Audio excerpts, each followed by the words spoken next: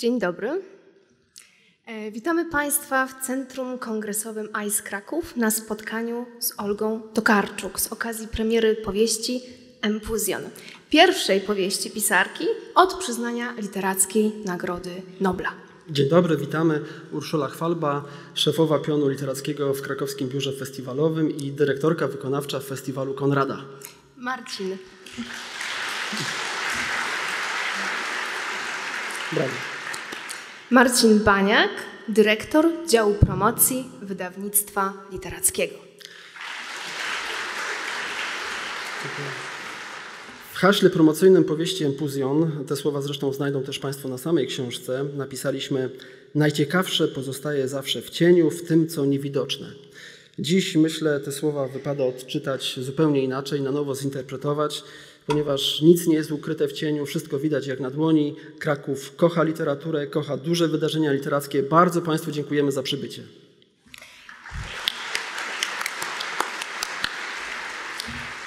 Nim spotkanie się rozpocznie, garść informacji organizacyjnych. Y, organizatorami spotkania są Wydawnictwo Literackie, Gmina Miejska Kraków oraz Krakowskie Biuro Festiwalowe, operator programu Kraków Miasto Literatury UNESCO. Partnerem wydarzenia jest Fundacja Olgi Tokarczuk. Spotkanie potrwa mniej więcej godzinę. Tuż po spotkaniu odbędzie się sesja autografów. Wiem, że Państwo na to czekają. Zasady tej sesji przekażemy Państwu tuż e, po rozmowie, czyli za mniej więcej godzinę właśnie. A teraz już zapraszamy na scenę najważniejsze osoby tego wieczoru. Laureatka literackiej Nagrody Nobla, Olga Tokarczuk. Zapraszamy.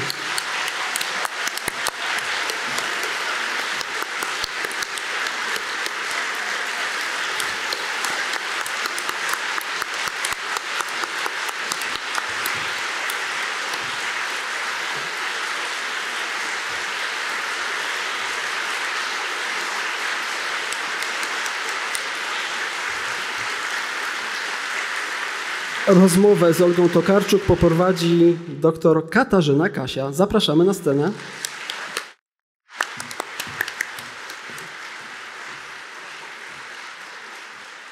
Na scenę zapraszamy również panią Annę Zarębę-Michalską, prezes Wydawnictwa Literackiego, która opowie o wydawniczych kulisach powstawania książki. Zapraszamy.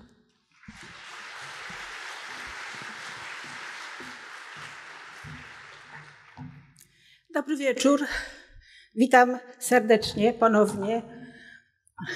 Przede wszystkim naszą świetną autorkę, Olgę Tokarczuk oraz jej dzisiejszą rozmówczynię, panią Katarzynę Kasię. Witam bardzo serdecznie wszystkich wiernych czytelników Olgi Tokarczuk, a także tych, którzy dopiero nimi e, zostaną. Okazją do dzisiejszego spotkania, jak wiadomo, jest najnowsza powieść Olgi pod tytułem Empuzjon. Ci z Państwa, którzy zdążyli już ją przeczytać, zapewne wiedzą, co oznacza ta grecka nazwa.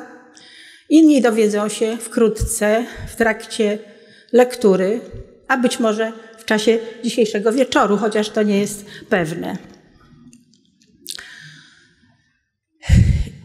Łacińskie powiedzenie mówi habent sua fata libelli Otóż powieść Olgi Tokarczuk Empuzjon ma już swoją historię, znamienną historię. Olga zapowiedziała już tę książkę, kiedy e, wróciła ze Sztokholmu, gdzie odbierała literacką Nagrodę Nobla. Był to październik roku 2019, więc zapowiedziała ją już wtedy i zastrzegła też od razu, że ta książka będzie inna, że się będzie różniła od jej wcześniejszych tytułów, że będzie prawdopodobnie zaskoczeniem dla e, czytelników i dla e, krytyki. Wszystko zapowiadało się bardzo pięknie, lecz upłynęło zaledwie kilkanaście tygodni, kiedy świat wokół nas się zmienił, nastały inne czasy, trudne czasy, dotarła do nas epidemia. Wiele planów, zamiarów, w tym wydawniczych, musiało ulec zmianie, część wręcz legła w gruzach. A przy tym pamiętajmy, że trwał w najlepsze, pomimo epidemii, festiwal wydarzeń ponoblowskich. To była istna lawina wywiadów, zaproszeń, rozmów, nadawania tytułów, przyznawania doktoratów honoris causa i tak dalej. Olga musiała temu wszystkiemu sprostać. Ale ponieważ jest bardzo dzielną osobą, trwała również praca nad nową powieścią. I nastąpił dzień, kiedy powieść Empuzjon została złożona, ukończona i złożona w wydawnictwie literackim. Rozpoczęły się prace redakcyjne, nad którymi czuwał wieloletni redaktor i opiekun tekstów Olgi w wydawnictwie literackim, Waldemar Popek. I znowu wszystko było na jak najlepszej drodze. I nastąpił kolejny dramat, kolejna katastrofa wojna na Ukrainie. Zaczęły się wydarzenia, które nie miały prawa zaistnieć w naszych czasach i w naszym obszarze geograficznym, a jednak zaistniały i dalej się dzieją. Olga sama o tym niedawno mówiła, jak bardzo ciężko, jak bardzo trudno i traumatycznie przeżywa ten koszmar, podobnie jak wielu z nas. Nie wiemy, jak to się wszystko skończy. Zaczęły się więc znowu wahania i rozważania w wydawnictwie, czy to jest odpowiednia pora na wydanie tej książki. Tym bardziej, że w księgarniach półki zaczęły się uginać od e, książek, na których okładkach widniały zgoła, zgoła inne twarze. Po namyśle, po wielu naradach postanowiliśmy wspólnie z autorką, że książkę należy jednak teraz wydać, ponieważ tak cierpliwie czekali na nią czytelnicy i poniekąd wbrew tych, tym wszystkim okropnościom. Myślę, że to była dobra decyzja, kiedy widzę tę salę zapełnioną miłośnikami literatury. I na koniec jeszcze króciutkie spostrzeżenie o charakterze raczej wydawniczym. Otóż współpraca Olgi Tokarczuk z wydawnictwem literackim zaczęła się w roku 2001-2002 książką, publikacją książki pod tytułem Lalka i Perła. Sama autorka określała tę książkę jako osobisty notatnik z lektury lalki Bolesława Prusa. Od tego czasu minęło 20 lat. Mamy rok 2022 i Olga obdarowuje nas inną książką, inspirowaną innym dziełem, innego wielkiego pisarza, starszego kolegi, dużo, dużo starszego w klubie noblowskim, Tomasza Mana. Tych dwóch tekstów Olgi nie sposób porównywać, Prócz tego, że dzieli je 20 lat, to są zupełnie inne pomysły literackie, inna konwencja, inna geneza. A jednak, jeśli się jest wydawcą, to nie sposób nie zauważyć takiej okoliczności. Pozwól, Olgo, że na zakończenie przytoczę zdanie z tej właśnie Twojej książki sprzed 20 lat, z lalki i perły. Krótkie i proste. Brzmi ono tak. Czytanie dobrej powieści sprawia przyjemność i radość.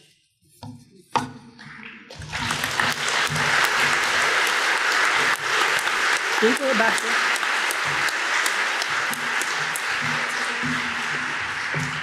Dziękujemy Pani Prezes. Dzisiejsze spotkanie nie doszłoby do skutku, gdyby nie Krakowskie Biuro Festiwalowe i gdyby nie pani dyrektor Magdalena Doksat-Ferberg. Zapraszamy na scenę panią dyrektor i w imieniu wydawców dziękujemy, że literatura zajmuje tak ważne miejsce w działalności KBF. Prosimy o kilka słów.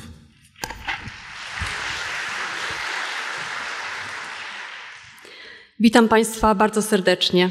Wszystkich Państwa i każdego z osobna, a w szczególności bardzo serdecznie chciałam przywitać Roberta Piaskowskiego, pełnomocnika prezydenta Krakowa do spraw kultury, i żeby nie przedłużać, bo wiemy, po co tutaj wszyscy przyszliśmy, jesteśmy spragnieni kontaktu z Olgą Tokarczuk. Chciałam powiedzieć tylko króciutko, że Krakowskie Biuro Festiwalowe jako operator programu Kraków Miasto Literatury UNESCO stara się dbać o literaturę jak najbardziej. W codziennych naszych e, spotkaniach z autorami, festiwalach, które organizujemy, staramy się tę literaturę pielęgnować. I dwa lata temu, w zasadzie trzy lata temu, w październiku 2019 roku, niektórzy z Państwa być może pamiętają, spotkaliśmy się tutaj z Olgą Tokarczuk podczas festiwalu Konrada i wówczas publiczność przywitała Olgę owacją na stojąco, bardzo spontanicznie, nie wiedząc, że dwa miesiące później odbierze Literacką Nagrodę Nobla. Myślę, że te emocje towarzyszą nam dzisiaj nieustannie, są one wyczuwalne i życzę Państwu, aby towarzyszyły nam podczas spotkania i zostały z Państwem jeszcze na dłużej.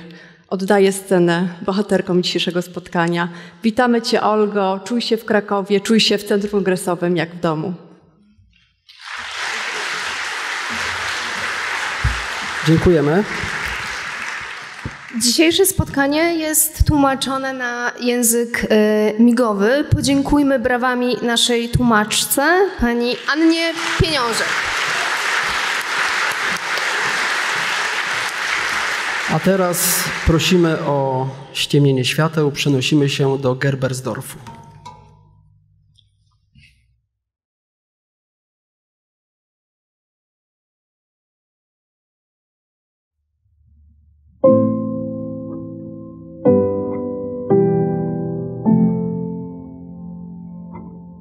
Odszedł od stołu z ulgą, nie mogąc przeciwstawić się nieprzyjemnemu uczuciu, że są oto tutaj w zamknięciu, że znaleźli się w Gerbersdorfie niczym oderwany od wielkiej armii oddział w oblężeniu. I choć nie było widać luf karabinów ani znaków obecności podstępnych wywiadowców, to wojnicz czuł, że niechcący znalazł się na jakiejś wojnie. Między kim a kim tego zupełnie nie wiedział, bo przecież wszyscy tutaj wydawali się zajęci tym samym zmaganiami z chorobą, zbijaniem gorączki, wzmacnianiem ciała, dodawaniem otuchy, doprowadzaniem się do porządku po anarchistycznych rządach choroby.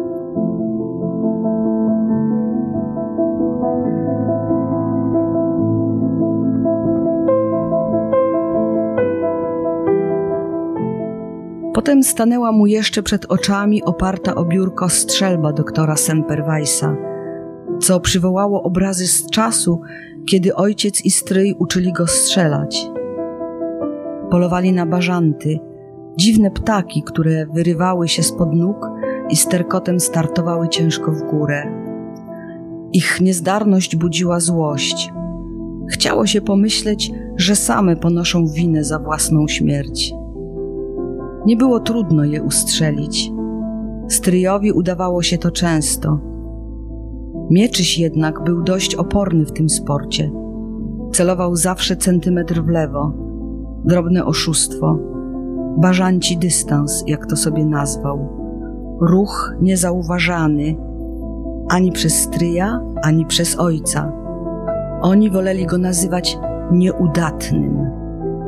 Bażanci dystans był strategią oporu, podobnie jak milczenie, znikanie w odpowiednim momencie, usuwanie się z oczu. Niby bierze udział w narzuconej grze, a jednak jakoś jej umyka. Lekkie przesunięcie muszki, niezauważalne dla innych, niweczy całe przedstawienie.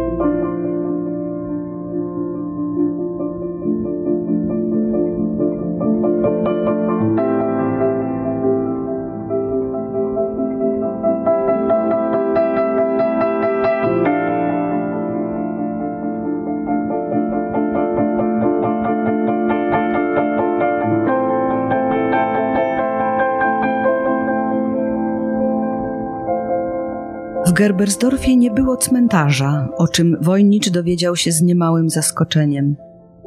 Tylu ludzi tutaj mieszkało i tylu ludzi tutaj umierało, a jednak ich śmierć przechodziła jakoś niezauważalnie i higienicznie, taktownie dostosowując się do rytmu życia miasteczka, jak gospodarna pani domu, która zawsze potrafi z wdziękiem pozbyć się wszelkich śmieci i odpadków. Powiedział mu to pan August, który spacerował po deptaku, wywijając bambusową laseczką. Widzi pan, prawda pisana przez duże P opiera się zawsze na groźbach obcięcia tego, co wystaje poza jej obrys. Żadnych frędzli, żadnych. Za prawdą kryje się przemoc. Tu nagle gwałtownie przerwał. Proszę pozostać przez chwilę bez ruchu, krzyknął i zdjął z ramienia wojnicza ogromnego zielonego owada, który wyglądał jak skrzyżowanie konika polnego z krabem. Po czym położył go na dłoni i wyciągnął ją ku młodzieńcowi, tak by ten mógł podziwiać w całej okazałości okaz, którego cudaczność budziła jednocześnie ciekawość i obrzydzenie.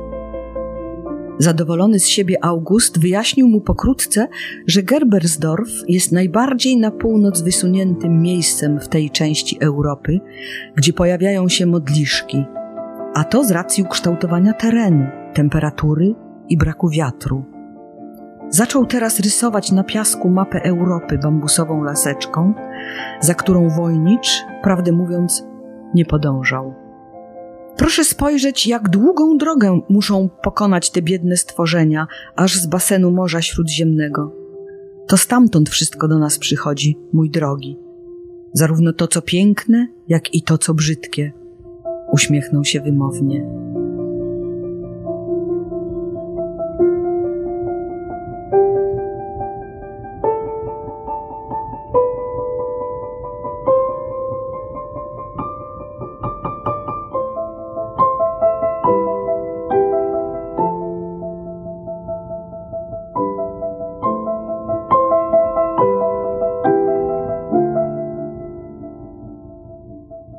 Idąc dalej, zobaczyli czterech pielęgniarzy niosących trumny z kurhausu do kostnicy.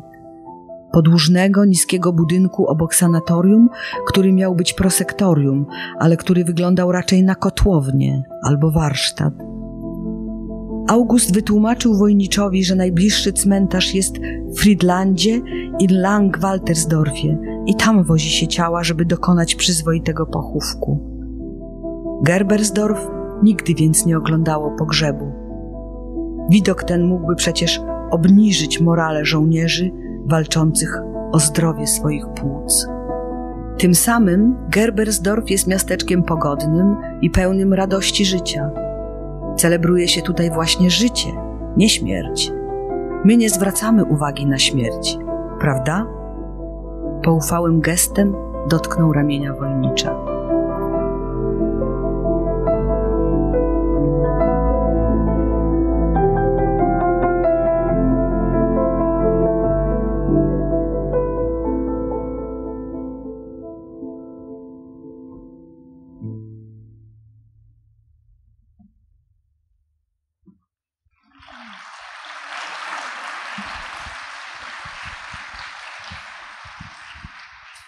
Dobry wieczór Państwu.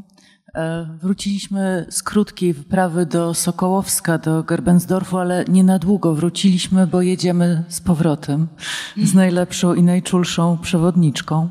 E, e, chciałam nas przedstawić jeszcze raz, sięgając do empuzjonu.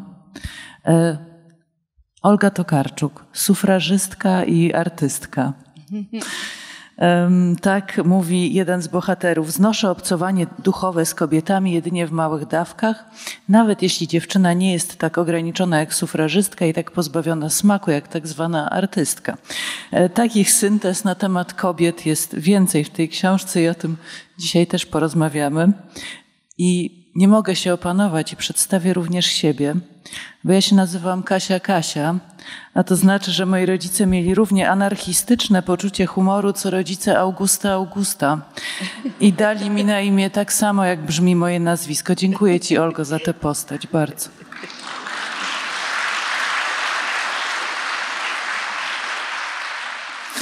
I skoro już wszystko wiemy, to chciałam Cię zapytać o, na początek o to, e, co się już tutaj pojawiło, czyli o tę strategię oporu. Bo e, Mieczysław Wojnicz, główny bohater tej książki, jest mistrzem stawiania oporu. E, tutaj jest opisana strategia budowania bażanciego dystansu. On też ma takiego swojego bohatera, pana Plonsa. On jest ten Mieczysław Wojnicz nie stąd i nie stamtąd. On jest z jakiegoś zupełnie innego miejsca. Ty to miejsce nazwałaś w jednym z tekstów krainą metaksy. On jest pomiędzy. Dlaczego on jest taki pełen ambiwalencji? Czy on jest uosobieniem tego pomiędzy właśnie, tego jak gdyby? Mhm. Tak, myślę, że jest to przykład człowieka, persony i wielu z nas y, bardzo dobrze by się mogło z nim identyfikować. Myślę, że chodzi to tutaj o takie wczesne rozpoznanie.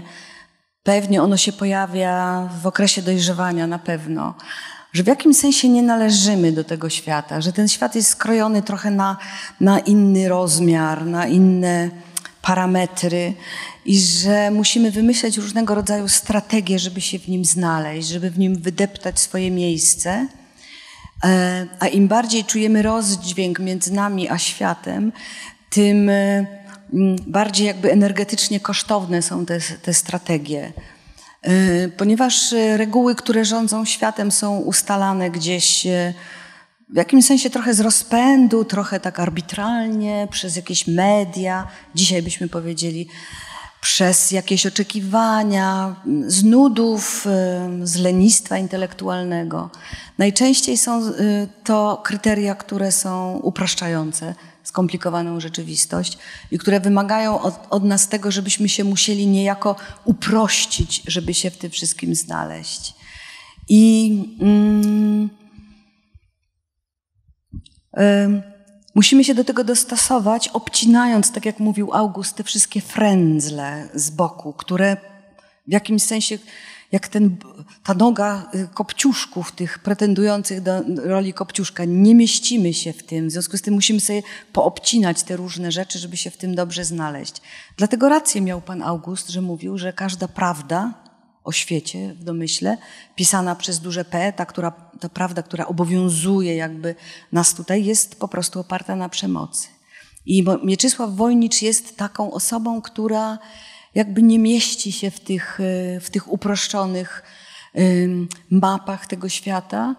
I ta książka opowiada o tym, jak on się próbuje dostosować i właściwie może też nie chcę zdradzać końca oczywiście, bo zastanawiałyśmy się z Katarzyną, że jednak nie będziemy spoilerować.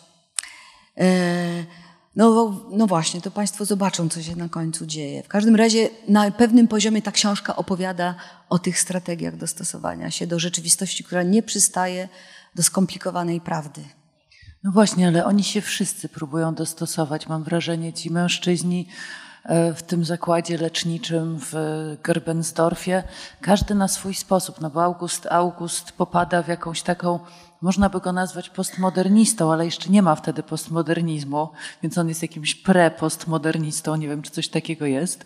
E, no i jest pan Lukas, który, jak piszesz, opiera e, swoją wyprostowaną postawę na kręgosłupie z pogardy. Każdy z nich ma jakąś właśnie swoją metodę. One są śmieszne czasami, te ich metody. Oni są wzruszający, oni czasami bardzo, muszę przyznać, są denerwujący również, e, ale próbują cały czas znaleźć jakiś sposób radzenia sobie ze światem, bardzo często przez powielanie stereotypów. Tak, e, znajdują dla siebie jakąś taką ścieżkę w tym wszystkim, która najbardziej pasuje ich temperamentowi. Mówisz o Lukasie, Longin Lukas, e, który jest takim prototypem faszysty, który za chwilę się rozwinie z tej swojej pogardy, zacznie mm, naznaczać tą pogardą pewną grupę ludzi, których, które wykluczy. I pamiętajcie Państwo, że jesteśmy w 1913 roku, dopiero się zacznie dziać. E, I każdy z nich znajdzie też swoje miejsce w historii, w tych takich potężnych energiach, które będą ich niosły i które będą ich pewnie no, jeszcze bardziej wybarwiały, jeszcze bardziej y, y, y, naznaczały taką jednorodnością, że staną się z nich takie typy. Na razie to jest 1913 rok.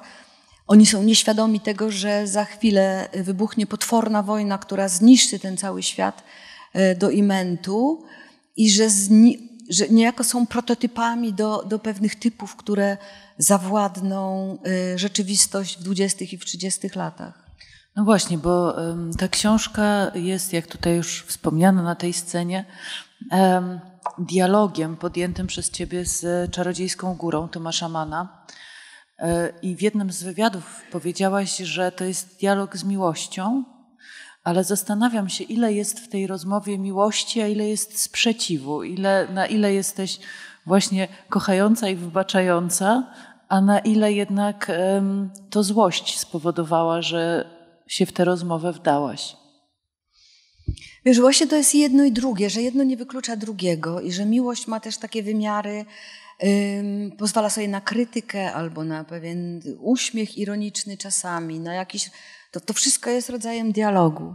Mnie się w ogóle wydaje, że my. Mm, mm, że o, o, sobie powiem, nie że my, bo to nic nie znaczy, że im jestem starsza, tym mam większą potrzebę dialogowania z przeszłością, z historią. Yy, że nie wyrywa mnie do przodu za bardzo, tylko wydaje mi się, że mamy niezałatwione różne problemy z tyłu. I też pamiętam, że kiedy pierwszy raz przyniosłam swoją książkę do wydawnictwa, to była Podróż Ludzi Księgi, chciałam ją wydać.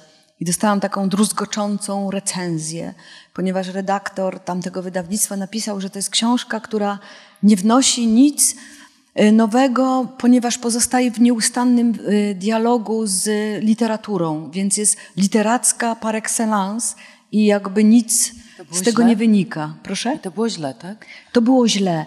A dzisiaj sobie i strasznie to przeżyłam. Pomyślałam sobie, że wtedy muszę pisać jakoś tak konkretnie o świecie, jechać gdzieś może na jakiś, e, do jakiegoś interioru, do jakiejś Afryki, może na wojnę i tam opisywać rzeczywistość taka, jak, jak, jak ona się nam jawi, tak, w takim bezpośrednim dotknięciu.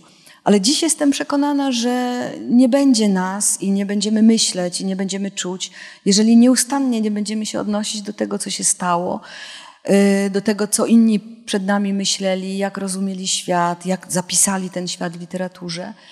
I wczoraj skończyłam czytać Trzy kobiety Mozilla, a dzisiaj zaczęłam czytać Henry'ego Jamesa i mam jakąś taką y, ogromną potrzebę wracania do, y, do klasyki, do tradycji literackiej, bo wydaje mi się, że to jest jedność, bez której której nie możemy ignorować, ponieważ gdzieś nastąpią jakieś takie przerwania łańcuchów i wtedy kompletnie zgupiejemy już. Więc w tym sensie ta książka została napisana też z, z takiego właśnie z poczucia miłości, ale też jakby mądrego, czy refleksyjnego, czy próby wyobrażenia sobie refleksyjnego i otwartego nawiązania pewnego dialogu z tradycją. I dziś wiem na przykład, że dla mnie, pewnie dla ciebie też, Czarodziejska Góra była bardzo poważnym doświadczeniem czytelniczym. Wtedy jeszcze nie było internetu, nie siedziało się tyle w telefonie i się czytało. Dziś wiem, że to nie jest takie oczywiste i bardzo wiele znaków do mnie dochodzi od młodych czytelników, że oni w ogóle nie wiedzą, co to jest Czarodziejska Góra i nie znają. Nie, nie, nie, Trudno mi sobie to wyobrazić, ale no tak jest, po prostu czas, świat idzie do przodu.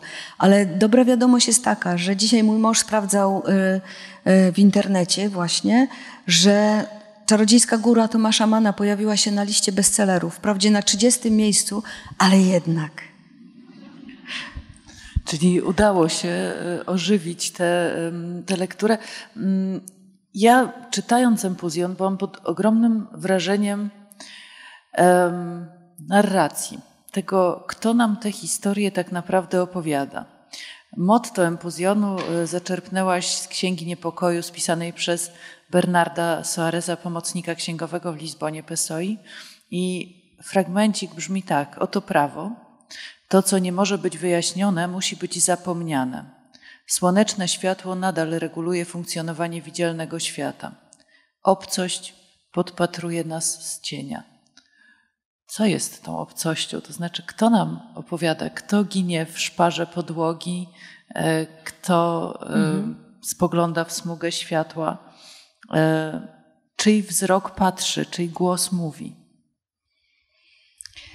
Oto długa historia jest. To jest w ogóle jakiś rodzaj obsesji, który mnie opanował przez ostatnie dwa, trzy lata, może troszkę więcej, bo zdałam sobie sprawę z tego, że chyba po raz pierwszy w historii człowieka, Homo sapiens, żyjemy w panoptikum.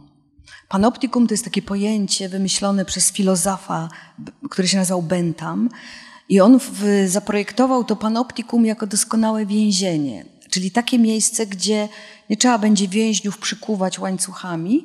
Wystarczy zrobić tak, żeby każdy więzień był doskonale widoczny z każdego miejsca, w którym się znajdzie. I ten fakt obserwacji już będzie utrzymywał porządek w tym więzieniu i będzie też w domyśle chyba jakąś taką adekwatną karą dla tych przestępców. I myśmy sobie zafundowali takie panoptikum przez ostatnie lata dzięki y, telefonom komórkowym, dzięki internetowi, kamerom przemysłowym, y, y, no, wszystkim tym środkom ostrożności, że właściwie żyjemy pod, nie, nie, pod nieustannym widokiem czyimś, innych ludzi, też sami siebie oglądamy. Czy wiecie Państwo, że 200 lat temu lustra w domu były y, czymś y, przedmiotem zbytku? Najczęściej ludzie żyjący na wsi przeglądali się w strumyku albo y, w jakiejś tam szybie gdzieś w kościele, ale ludzie nie mieli luster. Jeżeli mieli lustra, to były one niedokładne, niewyraźne. Więc ludzie żyli przez tysiące lat nie widząc siebie. A my dzisiaj codziennie oglądamy swoją twarz, y, robimy sobie nieustannie te koszmarne y, zdjęcia, które rozsyłamy w jakimś takim poczuciu też mm, no, lekkomyślności na cały świat. A jednocześnie jesteśmy nieustannie obserwowani przez samych siebie, przez służby. Więc to życie w panoptikonie stawia pytanie o to, y, jak to jest być nieustannie obserwowanym i właściwie kto nas obserwuje, kto to jest, czyje oko stoi za kamerą przemysłową na przykład, zawsze mnie to dziwiło. Czy to jest tylko ten pan y, Gienek, który siedzi na na recepcji jakiegoś zakładu, gdzie idą te obrazy, kto nas ogląda. Więc y, jest to w ogóle już sam temat na to, żeby stworzyć jakiś horror, prawda? Od razu się do, do, domyślamy jakiegoś oka, jakiejś świadomości, która na nas nieustannie patrzy. I ten niepokój, który się bierze też z tego, który pięknie wyraził Pessoa w tym cytacie, przyświecał mi od początku do końca w pisaniu tej, tej książki. To znaczy, wszystko, co nam się przydarza, bohater, nie da się już go opowiadać z pierwszego punktu widzenia, takiego pierwszego narratora. Y, jego też już jakoś pognębiłam w esejach i mm, próbowałam przekonać, że on jest jakoś kompletnie nieadekwatny.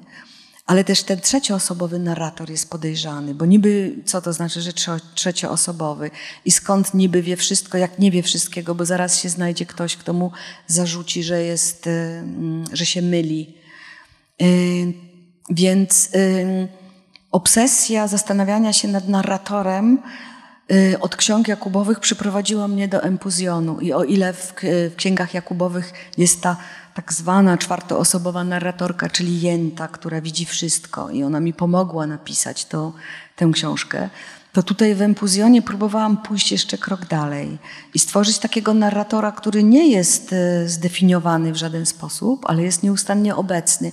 I sam fakt, te, ten fakt, że on nas obserwuje, w tym przypadku wcale nie on, y, to no, powinno to budować jakiś rodzaj niepokoju. Zresztą Mieczysław Wojnicz ma tę samą obsesję co ja, czyli wchodząc do każdego pomieszczenia zatyka dziurki y, od klucza i w ogóle przygląda się tym miejscom, skąd mógłby być obserwowany. obserwowany. I powiem wam, że ma rację, jest się czego bać. Ale to obserwowanie nie oznacza, że ludzie umieją patrzeć. E, w tej książce pojawia się niezwykle ważny wątek ćwiczeń z patrzenia. E, Theo von Hahn, bardzo ciężko chory, e, historyk sztuki, młody student sztuk pięknych, on opowiada naszemu wojniczowi, jak ma patrzeć. Bo tak jak powiedziałaś, co z tego, że ta kamera przemysłowa nagra, zarejestruje ten obraz, skoro on nie będzie obejrzany w odpowiedni sposób. I trochę tak jest tutaj, że mm, Theo von Hahn mówi w pewnym momencie, że tutaj jest strasznie, bo to krajobraz zabija. Mhm. Tylko nikt tego nie widzi. On to widzi trochę uczy wojnicza. Mhm. Jak to jest z tym patrzeniem? Myślę, że to też właśnie jest związane z. Mm, wydaje mi się, że żyjemy na skraju dwóch cywilizacji, takiej jeszcze opartej na języku. Bardzo pięknie o tym Jacek Dukaj opowiada. Tej cywilizacji z, zorientowanej na język i, i tej, która już przechodzi w komunikowanie się obrazami. Y, I jak powstaje język zawsze jakiś nowy, to te obrazy zostają też w jakiś sposób u, u, u, u zaczynają być umowne, to znaczy musimy je uprościć, tak jak uprościliśmy znaki alfabetu, żeby były jakiś, jakiś porządek w tym wszystkim. I że teraz jesteśmy świadkami właśnie przez, przez y, techniki, mm, przez te media wizualne w internecie, że się po prostu przyzwyczajamy, to widzimy tak, to widzimy inaczej i że zaczynamy tracić taką świeżość spojrzenia. I to jest y, w empuzjonie jest takie przeczucie, że może to, co nas otacza, może to, jak patrzymy, jest też swego rodzaju przyzwyczajeniem i takim okrojeniem z tych wszystkich frędzli. I że obraz zaczyna pełnić funkcję języka, staje się pewnym znakiem, ale przez to tracimy jakby wrażliwość na to, na interpretację skomplikowanego, wieloznaczeniowego obrazu, który naprawdę jest przed nami. I Thilo von Hahn, tak się śmiesznie nazywa, jest człowiekiem w tej książce, który jakby jeszcze nie stracił tej intuicji. Mm, on pracuje z, wprawdzie z obrazami namolowanymi przez starych mistrzów, ale ma jakąś taką intuicję, że obraz znaczy więcej niż widzimy na pierwszy rzut oka i że możemy się z obrazem komunikować. Jako przykład mm, tutaj funkcjonuje y, krajobraz, że można odczytać krajobraz, tylko że trzeba mieć pewne możliwości spojrzenia na krajobraz właśnie w taki sposób. I wydaje mi się, że tutaj dotykamy takiej szerszej, e, szerszego problemu, szer, takiego znaku zapytania, czegoś absolutnie fascynującego. Właściwie pytania, które stoi przed nami, jak my się możemy kontaktować z naturą? Czy my mamy język do tego, żeby zrozumieć te znaki, które natura nam przysyła? Czy jak patrzymy na zwierzęta, e, to oglądamy zabawy kotków na, w internecie, prawda? I to nam dobrze robi, ale czy my rozumiemy tak naprawdę, co one robią? Czy my też y, ufamy, czy wierzymy w to, że one mogą nam wysyłać jakąś informację? Tak samo jest y, z, z naszym otoczeniem, z tym najbliższym krajobrazem miasta, czyli już takiego naznaczonego przy, przez człowieka, ale przede wszystkim z, z dziką naturą, której mam wrażenie kompletnie nie rozumiemy. Idziemy na szlak w góry i po prostu robimy zdjęcia, wysyłamy swoim znajomym, ale już straciliśmy kompletnie mm, rozeznanie właściwie, co to jest. I to, to, to, to takie moje pytanie, czy natura na, do nas coś mówi? A może my w ogóle tego nie słyszymy, nie umiemy usłyszeć, nie umiemy tego zobaczyć. Więc ten niepokój, który się pojawia też w tej książce, bierze się z tego podejrzenia, że być może my jesteśmy po prostu głupcami, że jesteśmy nieustannie bombardowani jakąś informacją i nie umiemy tego odczytać. To jest tak jak te oczy, które patrzą gdzieś z mroku, tylko nie chce się ich zobaczyć. To jest jak ten krzyk jelenia w lesie, jak to gruchanie na strychu. Mm -hmm. To są bardzo ważne bodźce, które przecież nawet przeszkadzają czasami e, i są takie niepokojące mocno, e, ale jednocześnie budzą paniczny lęk. Mhm. I ja bym nie powiedziała, że tutaj mamy do czynienia z taką prostą, binarną opozycją natura, kultura, tylko raczej jesteśmy w sytuacji, w której usiłujemy tę opozycję na siłę wprowadzić i zakorzenić. Mhm bo się czegoś bardzo boimy, bo się bardzo boimy coś zobaczyć, a w gruncie rzeczy, tak sobie myślę, jak na nich patrzę, samych siebie się najbardziej boimy i tego, co w nas siedzi i co by właśnie było takie nieugłaskane, nieucywilizowane, co by mhm. było tym frędzlem, który trzeba byłoby usunąć, mhm. obciąć. Mhm. Tak, dokładnie tak jest. Myślę, wiesz, nigdy nie stawiałam kultury jako mm, wobec natury jako, no może jak miałam tam, nie wiem, 18 lat. E, ale e, dzisiaj zdaję sobie sprawę z tego, że kultura jest e, pewną wyrafinow- pewnym wyrafinowanym wyrazem natury, prawda? Kultura jest kontynuacją tego, Znaczy nie ma nic innego poza naturą, prawdę mówiąc. No właśnie, Tilo, e, który to jest właśnie fajne, że on będąc tym najlepiej wykształconym, jeśli chodzi o sztukę, najwięcej widzi w tym, co, e, co ich otacza. Ale to w takim razie zostańmy w tym Gerbensdorfie, w tym Sokołowsku. Się bardzo, jestem ciekawa, jak było, jak tam przyjechałaś pierwszy raz, bo to miejsce ma taki bardzo szczególny genius loci, coś tam się wydarza podobno. Y, jest taka legenda, którą też y, powielam w Empuzjonie, że Sokołowsko y, jest, leży na wielkim podziemnym jeziorze, stąd się bierze ten, ten szczególny klimat leczący. Jako dolnoślązaczka jakby od zawsze wiedziałam, że jest to, to miejsce. Jeździło się tam na niedzielę. Jest to miejsce ogólnie rzecz biorąc dosyć ponure ponieważ leży w takiej kotlinie, więc horyzont jest bardzo wysoki, ma się światło i słońce widać na niebie tylko przez część dnia, wszystko jest takie ukryte, ale ma coś w sobie y, przyciągającego i nie jest wcale dziwne, że y, kolejne fale różnych y, alternatywnych ludzi tam przyjeżdżają i, i, i od, kiedy pamiętam od 80., od początku 80. lat zawsze tam się osiedlali jacyś ludzie, którzy poszukiwali czegoś innego, jakiegoś innego doświadczenia. Dzisiaj jest to miasteczko kompletnie zniszczone. Ten kurhaus, który widzieliście Państwo na filmie, ten piękny, eklektyczny, monumentalny budynek sanatorium jest, nie istnieje już dzisiaj. Aczkolwiek pamiętam, jak przez mgłę że jeszcze pod koniec 80. lat odbywały się tam sylwestry w tych salach wszystkich i w tych mm, przestrzeniach. One jeszcze funkcjonowały. Potem ktoś podpalił to, e, to się spaliło i dzisiaj mamy fundację, która próbuje odbudować ten, ten kurhaus. Jest to dzi dziwne miejsce. No po prostu nie, nie, nie, nie umiem znaleźć słowa, żeby wyrazić to, to miejsce. Z pewnością trudne też do mieszkania, bo ono jest takie nawiedzone trochę, więc kiedy przyjechałam, jeździłam tam, to próbowałam sobie w myślach odtworzyć, jak to było przyjeżdżać tam jako ktoś chory na płuca, żeby się leczyć. Yy, snułam sobie takie opowieści i, i, i nawet nie pamiętam, jak mi przyszło do głowy. Akurat z tą książką nie jestem pewna, jak, jak kiedy, kiedy ten pomysł się zjawił żeby stworzyć Mieczysława Wojnicza, który się nazywa jak żołnierz, prawda? Mieczysław Wojnicz. I mm, żeby tam umieścić e, akcję tej książki. E, w tym miasteczku, ale ważniejsze jest to, co jest do, dookoła. Mm, I ważne jest to, że to jest to uzdrowisko. Tutaj mamy ten dialog z czarodziejską górą, ale to ta góra nie jest czarodziejska, to jest empuzjon. Takie góry się nazywają łyse góry w Polsce, babie góry ewentualnie.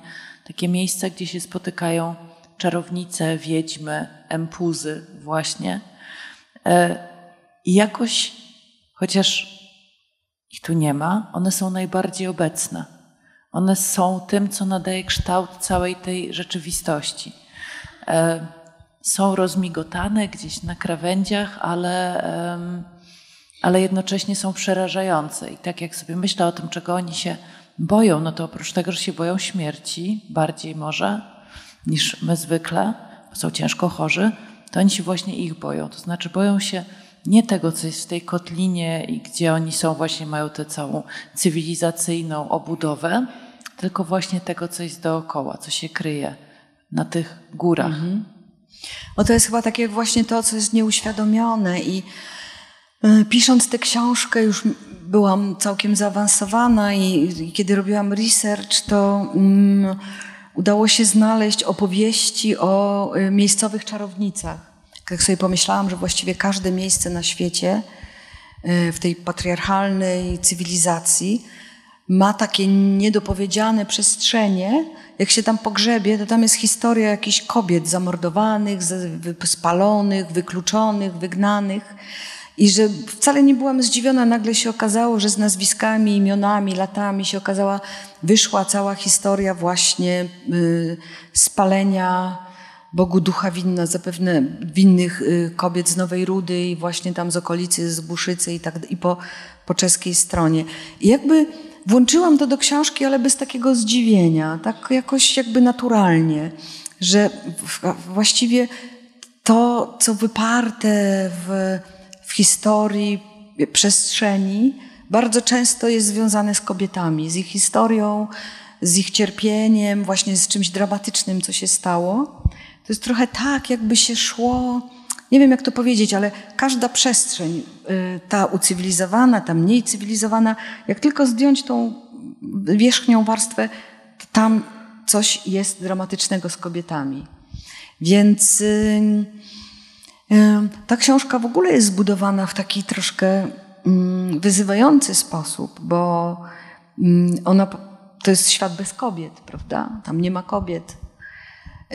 I wszystkie te skojarzenia związane z tymi bytami kobiecymi są gdzieś zepchnięte w góry i tam już pozbawione słów, pozbawione opowieści i tylko zostają jako wibracje, jakoś, jakieś zlepki mitów, jakiś owad, jakaś e, przemykająca obecność, ale właściwie ta wyparta kobiecość jest też pozbawiona języka, głosu, opowieści. Do, I tak tkwi, jako rodzaj takiej maligny.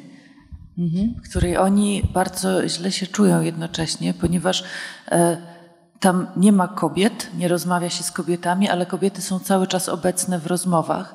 E, pod koniec książki przytaczasz e, fragment wielkiego E, wiele tysięcy lat mającego katalogu mizoginów i tam jest i święty Augustyn, święty Tomasz, i Józef Konrad, i e, Nietzsche, i Burroughs, i Otto Weininger, i William Shakespeare.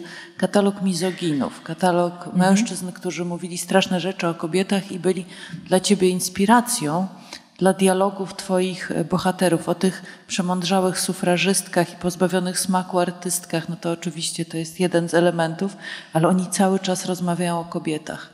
Mhm. I cały czas rozmawiają o nich z prawdziwą, autentyczną nienawiścią podszytą lękiem. Mhm.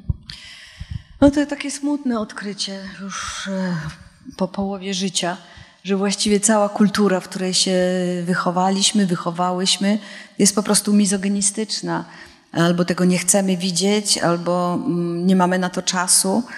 I, i uświadomiłam to sobie bardzo dobrze, y, kiedy po raz kolejny czytałam y, z obsesyjnym zainteresowaniem Czarodziejską Górę, bo ja cały czas czułam na różne sposoby, że tam jest dużo więcej rzeczy niż te, które się pojawiają w na pierwszy rzut oka. Może powiem chwileczkę o tych odczytaniach, co? Bo to jest ciekawe, wiesz, że, że, że no właśnie, że można tak żyć z literaturą, wbrew temu, co ten redaktor mi powiedział na początku mojej drogi pisarskiej, że się, odwoływanie się nieustannie do literatury jest bezsensowne, dlatego że trzeba pisać do rzeczywistości. Tak jakby literatura nie, nie miała kontaktu z rzeczywistością. Więc kiedy pierwszy raz czytałam Czarodziejską Górę, mając 14-15 lat, byłam na kolanach Wydawało mi się, że to jest znak, który wyjaśnia w ogóle, jak doszło do wszystkich tych tragedii w Europie, który pokazuje silniki, które tę cywilizację prowadzą do przodu, który porządkuje. Pamiętam, że robiłam sobie takie tabelki i rozpisywałam, co kto mówi i próbowałam potem nawiązywać do filozofii i, tłum- i szukać jakiegoś porządku w tym, w tym wszystkim. Oczywiście Umana nie ma porządku, tam jest raczej mapa y, y, takich jakby znaki tych różnych y, rzeczy. Po raz za którymś kolejnym razem nagle przeczytałam tę książkę jako ironiczną i śmieszną i zdałam sobie sprawę z tego, że Tomasz Mann się wygłupiał też pisząc tę książkę, że miał ogromne poczucie humoru i że serwował nam jakiś rodzaj y, opowieści o Europie i o zachodniej cywilizacji z przekąsem, właśnie z ironią. Y, po raz kolejny czytałam to jeszcze jakoś inaczej. W każdym razie za którymś razem doszłam do wniosku, że trafiłam na taki moment, który był dla mnie zastanawiający. Mianowicie jest w Czarodziejskiej Górze taki, taka scena, kiedy oni siedzą y, w, w, na stołówce, tam gadają i cały czas tam się kręci taka karlica, która jest kelnerką. I ta kelnerka jest jakoś tak, nie jest to wprost powiedziane, jest obśmiewana przez nich, jest jakaś śmieszna, jest taka mała, kobieta z garbem, jakaś y, no, ohydna, a zarazem fascynująca w tej swojej brzydocie. Wtedy się okazuje, że ona ma na imię Emerencja. Tam się nad nią znęcają. E, I zaczęłam szukać i trafiłam na to imię i zaczęłam robić swój wielki research i zaczęłam grzebać i zaczęłam się domyślać. I wtedy mam wrażenie, że trafiłam na coś, co mnie jakoś, co, co jakby wszystkie dzwonki mi zadzwoniły w głowie. Emerencja to jest e, kompletnie wyparta ze świadomości chrześcijaństwa święta, e, wielka postać e, babki Marii, matki Jezusa, czyli to jest matka Anny, świętej Anny, Anny Samotrzeć, którą znamy w ogóle sprzed... Jest coś takiego jak jakby święta Anna Samoczwarta, kiedy występuje Kumernis jako jej matka. I ta, bo nie Kumernis, przepraszam, ale to nie jest przypadkowa pomyłka akurat. Y, I ta emerencja jest po prostu prababką y, Jezusa.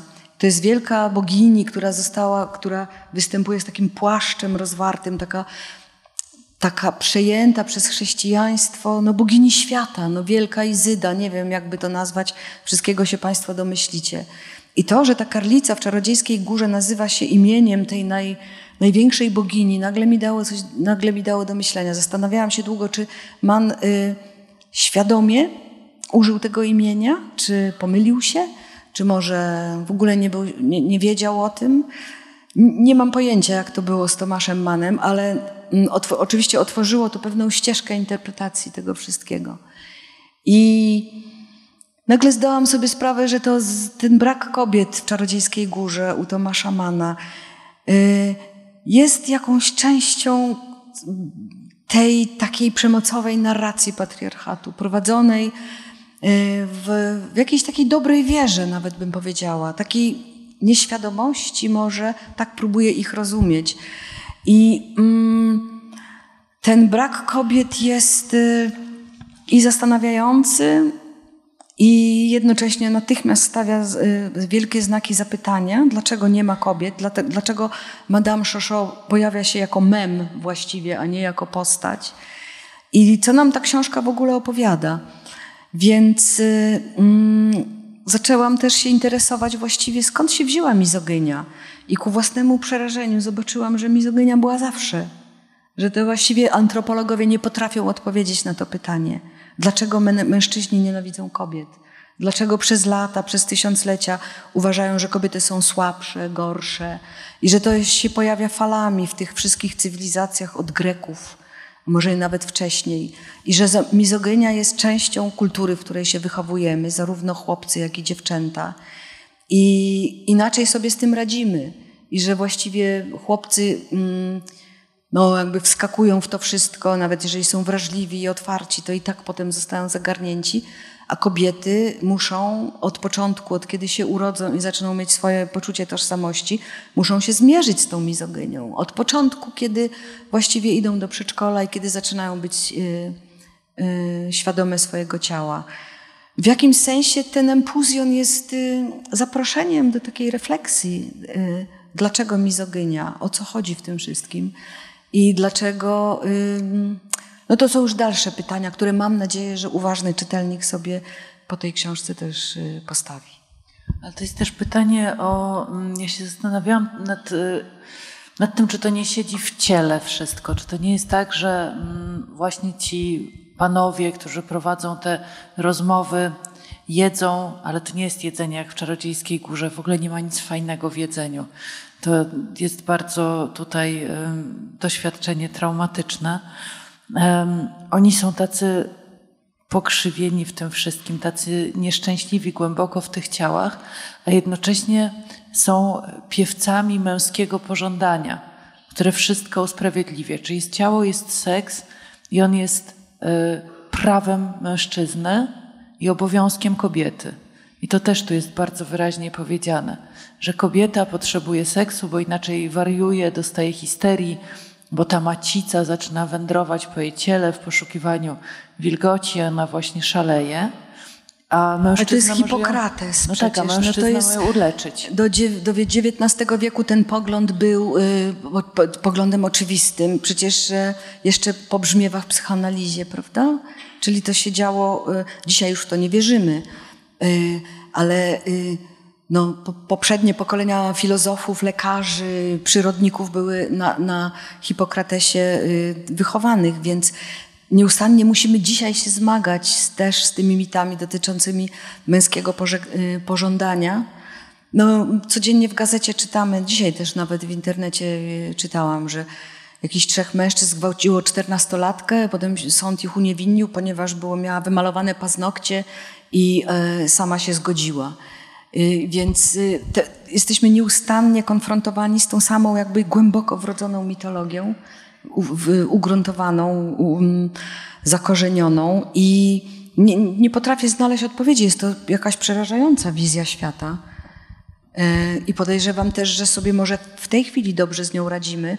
Siedzimy dwie kobiety na scenie, jest bardzo dużo ludzi, którzy nas słuchają, obu płci, ale y, w czasach, kiedy dzieje się akcja tej książki, taka sytuacja nie byłaby możliwa. To zaledwie 110 lat temu.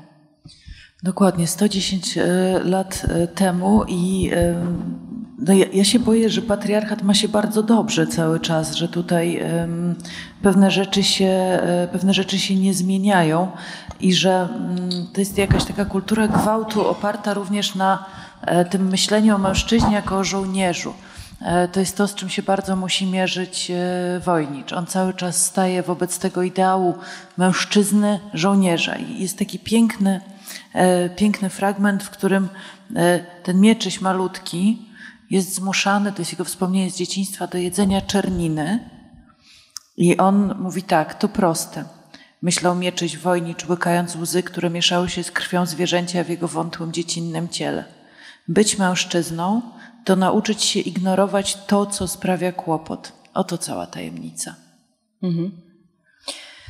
Bo y, to nie jest książka przeciwko mężczyznom, wręcz przeciwnie. Jest to książka, która y, próbuje dojrzeć w tych chorych na płuca mężczyznach w Gerbersdorfie, mieszkających w pensjonacie dla panów, delikatnie, delikatne, zranione istoty, które musiały sobie y, musiały jakoś rosnąć wobec tych oczekiwań y, patriarchalnego świata i przybrały formy czasami właśnie takie jakieś dziwne, jak mówisz, wykręcone. Ale w gruncie rzeczy, pisząc o nich, ja ich polubiłam i głęboko, głęboko im współczułam. Wiedziałam, że mm, nie ma ich do czego porównać w tej książce, bo tam nie ma kobiet żadnych i jakbym miała robić to porównanie. To nie jest takie proste, że mówimy mężczyźni, kobiety. kobiety.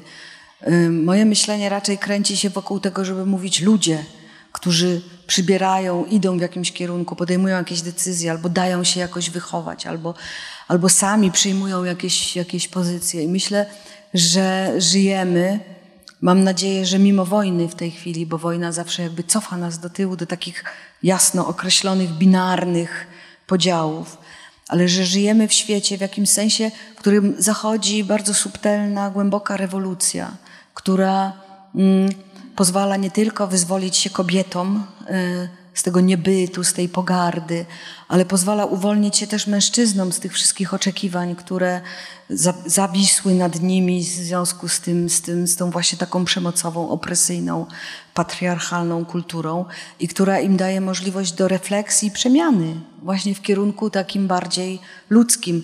Jasne, że nie możemy spoilerować tej książki, ale w jakimś sensie próbowałam naszkicować jeden z możliwych kierunków, w jakim to może pójść.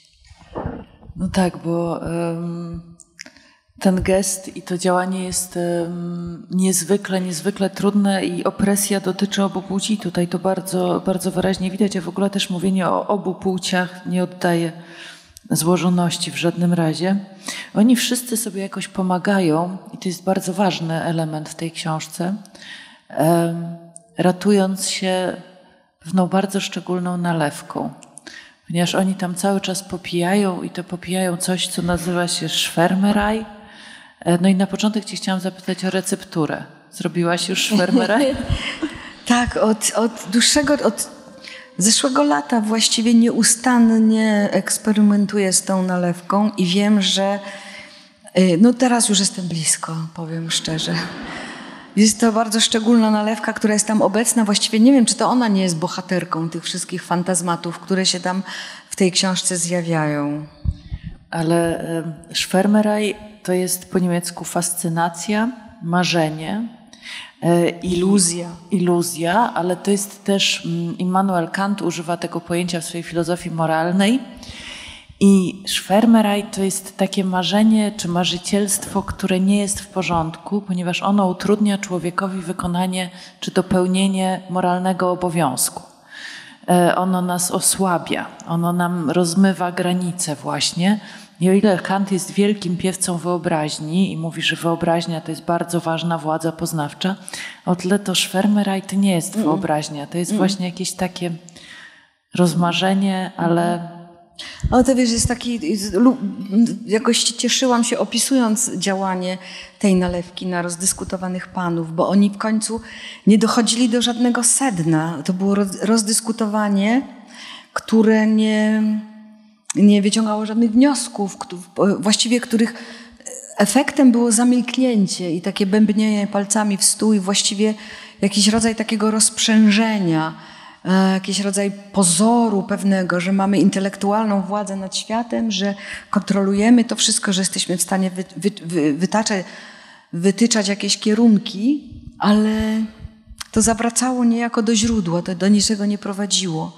I też sobie przypomniałam, że yy, Tomasz Mann, kiedy pisał Czarodziejską Górę i te tabelki, które ja rysowałam, żeby rozkminić te porządki intelektualne i filozoficzne, E, że sam się przyznawał w jakimś eseju, że on konstruował te słynne dyskusje e, właściwie z encyklopedii. Dzisiaj byś mógł korzystać z internetu. A wtedy szedł do biblioteki i robił ogromną ilość fiszek na temat różnych poglądów, które wtedy na początku XX wieku były modne, o których się mówiło, i niejako implementował je do ust tych swoich e, rozmówców. Dlatego ogromnym walorem Czarodziejskiej Góry Tomasza Mana jest to, że te dyskusje pokazują nam pewne skrawki rzeczywistości, ale nie prowadzą do żadnego clue. I największym właściwie, na, na, na, największym, jakby to powiedzieć, takim efektem w ogóle, jak się. Czarodziejska Góra została napisana w 20 latach, czyli już po wojnie. Ale widać, że ci ludzie, że, że Czarodziejska Góra nie jest w stanie i władze intelektualne nie są w stanie jakby przeczuć i tego, co nadchodzi i całej tej katastrofy. Może gdzieś zaznaczyć tylko y, mapę poglądów. Właściwie sądu, sądu można dokonać ex post. Tak samo moi bohaterowie w Empuzjonie. Cudowny rodzaj dyskusji, która nie prowadzi do niczego. Masz takie poczucie, wiesz, że się nagadałaś, że tak super się wymyśliło różne rzeczy, ale y, okazuje się, że nic nie wiemy, nie jesteśmy w stanie niczego przewidzieć i nic nie rozumiemy w gruncie rzeczy. No dobrze, to skoro my Cię tutaj mamy teraz, to y, zadam Ci to pytanie. To znaczy, do czego prowadzi nas empuzjon? To musielibyśmy zespoilerować tę książkę. Nie, ale powiedz, y, bo mi się wydaje, że tutaj na koniec bardzo dużo mówi pan doktor Semperweis, niemiła mm -hmm. postać, brutalna, niesympatyczna, ale on mówi mm, to, co ty mówisz. On mówi twoje słowa, to znaczy właśnie, żeby wyjść poza, e, poza binarność, żeby wyjść poza e, podział świata na e, proste kategorie, poza dobro i zło, czarny i biały, dobry, piękny, brzydki i tak dalej E, tylko żeby właśnie przyjąć całą tę złożoność. On mówi ważną rzecz, doktor Semperweis, dla mnie ważną, że, mm, że to, co w nas najistotniejsze, tak zwana dusza, wtedy jeszcze tak używano tego słowa, dzisiaj już mniej, leży w, nie w tym, co w nas jest najbardziej wyraźne, najbardziej to, do, to dominujące, to mm, czym się posługujemy w świecie, ale to, co najsłabsze, najbardziej skrywane. E, nasza dusza jest tam, tym, co jest w nas najsłabsze, co jest ukrywane. I właściwie jesteśmy tym, wokół tego budujemy całą swoją narrację swojego życia, to co nazywamy dzisiaj tożsamością, według, wokół tego, co jest w nas najsłabsze. I być może y, doktor Semperweis, który może sam w sobie jest niemiły, zresztą potem ginie jako pierwszy na wojnie, nie jako za karę, to y, pokazuje nam pewien inny punkt, wokół którego możemy krystalizować y, swoje poczucie ja, swoją tożsamość, to kim jesteśmy. I to jest, wydaje mi się, myśl bardzo ciekawa do przemyślenia. Y, na pewno wokół tego można stworzyć swoją własną opowieść o sobie samym i o swoim własnym świecie, który, która będzie szła wbrew albo będzie silniejsza wobec tych narracji, które narzuca nam świat i które musimy przyjąć, ponieważ no, tak się wychowaliśmy, w tym jesteśmy i w tym musimy funkcjonować. W gruncie rzeczy, jakkolwiek odrażający czy niemiły jest doktor Semperweis, jest to mądra myśl.